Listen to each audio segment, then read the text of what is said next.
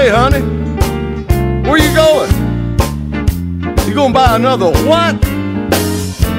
Well, wait just a minute. I better go too. You know what happened last year?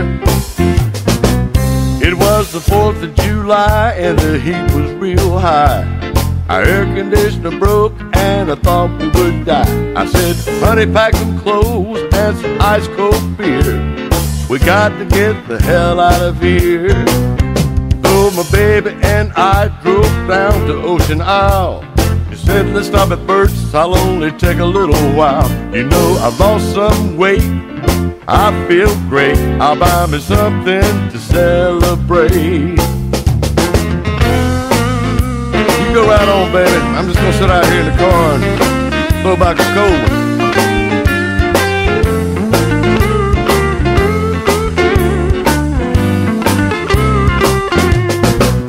She bought a white bathing suit to show up her tan. So she would look good on the beach for her man. She said it's just a little tight, but I can make it fit right. I see you out there on the sand.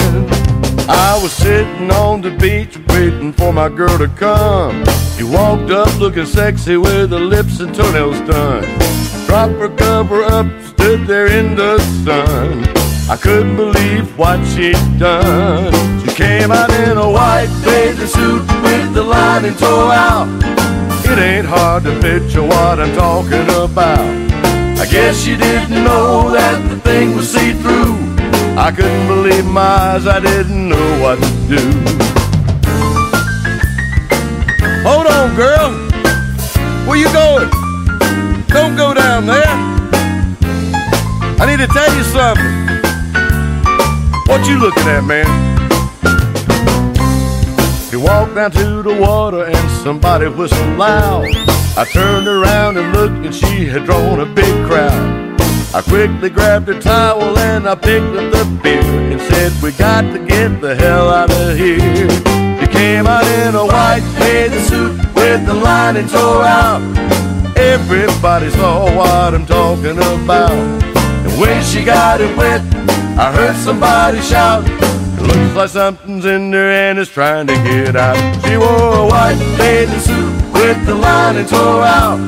It ain't hard to picture what I'm talking about. I don't believe she knew that the thing was see-through. I couldn't believe my eyes, I didn't know what to do. It was a white bathing suit with the lining tore out.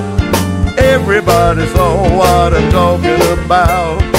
He took a little stroll, then I saw the beach patrol. I said, we got to get the hell out of here.